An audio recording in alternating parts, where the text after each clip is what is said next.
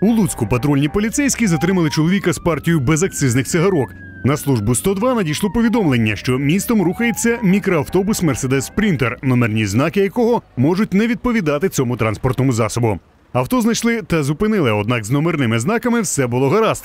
Інспектори хотіли обшукати автомобіль. Водій поводився агресивно та намагався втекти. Він відмовився відчиняти багажник та показувати документи. На місце викликали слідчо оперативну групу.